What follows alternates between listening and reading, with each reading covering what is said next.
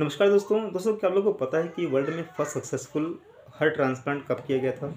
तो दोस्तों, मैं आप लोगों को बता दूँ कि जो पहला सक्सेसफुल हार्ट ट्रांसप्लांट था, वो परफॉर्म किया गया था सर्जन सी एन बर्नार्ड के थ्रू। ये साउथ अफ्रीका के कार्डिक सर्जन थे और इन्होंने ये जो पहला ट्रांसप्लांट किया था, वो किया था तीन दिसंबर 1967 को। हालाँकि जिस पेशेंट में ट्रांसप्लांट किया गया था, वो पेशेंट 18 डेज़ के बाद डेड कर गया था। हालाँकि कंडीशन कुछ और थे, उसको निमोनिया हो गया था, इसलिए वो अट्ठारह दिन के बाद वो डेड कर गया था। और जो मैं आप लोग को दोस्तों बता दूँ कि जो पहला सक्सेसफुल हार्ट ट्रांसप्लांट हमारे इंडिया में हुआ था, वो हुआ था दिल्ली के all India institute of medical sciences AIIMS में। ये हुआ था थर्ड अगस्त 1994 को।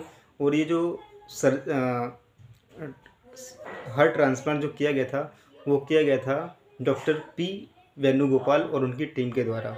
और इसमें जिस पेशेंट पर ये हार्ट ट्रांसप्लांट किया गया था, वो पेशेंट सर्वाइव किया था फोर्टीन ईयर्स तक after the successful successful transplantation of the heart तो दोस्तों, ये जानकारी मेरे द्वारा आप लोगों को कैसी लगी? आप लोग लाइक कमेंट शेयर करके ज़रूर बताइएगा। Thank you so much